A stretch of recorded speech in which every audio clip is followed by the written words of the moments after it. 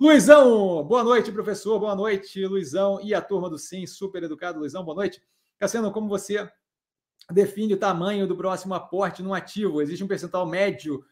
Abraço, grande abraço, cara. Então, não existe um percentual médio definido, tá? Nesse momento, a gente está com 30 ativos no portfólio. Então, como é que vem o pensamento? O pensamento vem assim, ó. Eu tenho muitas opções, certo? Então, não tenho necessidade de sair alocando grande percentual no portfólio. Se você quiser ter uma ideia do quanto, para ter uma noção do que, que é plausível, certo?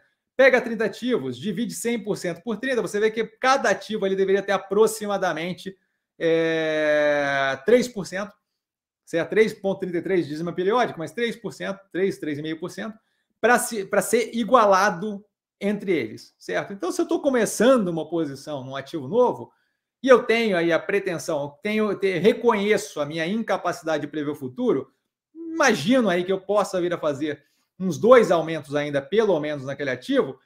Estou com 30 ativos no portfólio, acho que é uma quantidade plausível aí. É o que? É a primeira entrada com 1% do, do, do tamanho do portfólio, certo? Aí eu deixo espaço para aquilo ali naturalmente crescendo até o tamanho dos 3,5, às vezes passar. O Champact, por exemplo, passou violentamente, porque entrou numa num engate ali muito positivo, de modo que eu estava alocando de raquetada para dentro.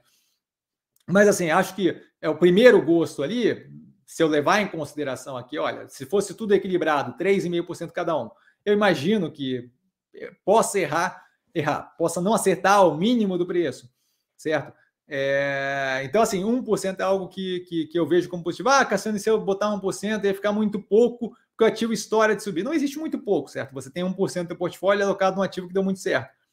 Se eu fizer isso é, e compreender que eu não tenho como sempre acertar o fundo, de modo que eventualmente isso vai ser é, menor alocação, porque eu acertei de primeira, e eventualmente vai ser maior alocação, porque eu tive que fazer mais preço médio, eu vejo que no médio e longo prazo aquilo ali é, me leva a uma decisão melhor se eu for previdente na alocação de ativo. Então, nesse momento, 30 ativos, é, eu acho que, olha, 1% do, do portfólio, é, do capital do portfólio, é mais do que suficiente para começar uma posição.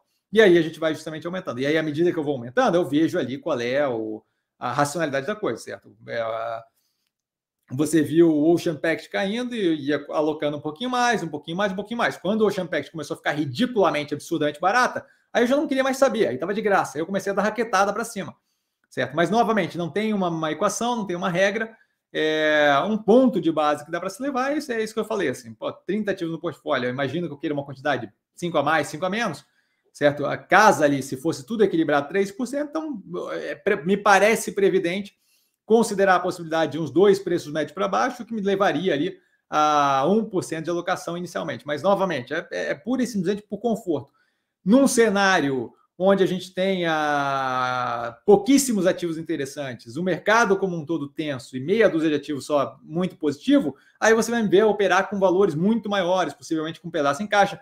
Mas isso é uma avaliação que a gente faz toda vez que a gente vai pensar o momento que a gente vive, o portfólio que a gente tem, por aí vai. Que nesse momento tem muita opção boa. Não, não...